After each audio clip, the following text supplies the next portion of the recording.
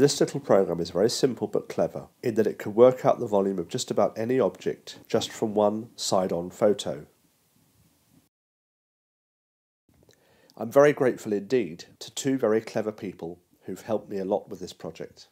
The program was written by my brother, Dr. Thomas Bending, who is Associate Professor of Mathematics at Middlesex University in London, and Dr. Sally Basker, who is Chief Executive Officer of Exeter Science Park.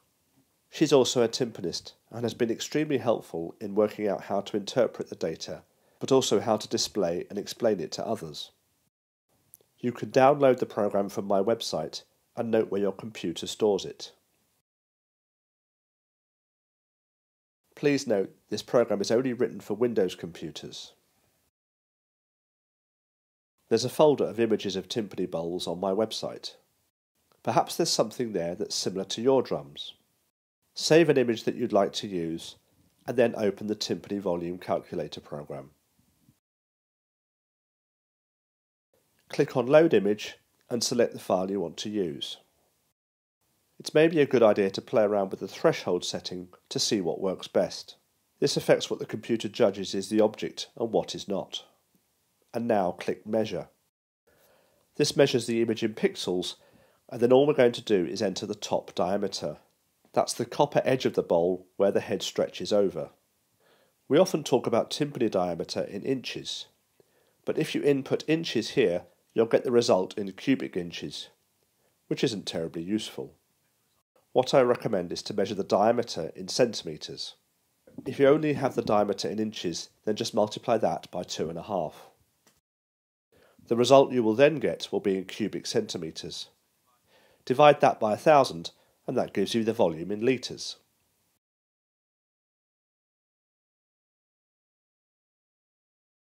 If you want to use photos of your own timpani bowls, then try and photograph them from quite a distance and zoom in.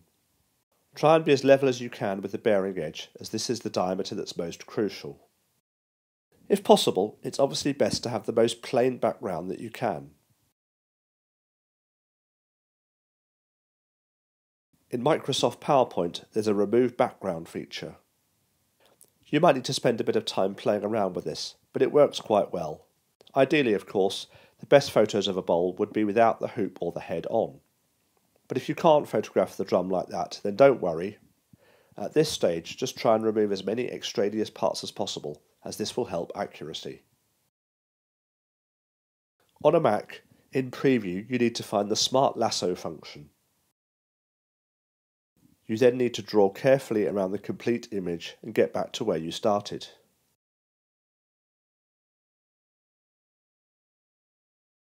Then cut what you've created and save it as a new file.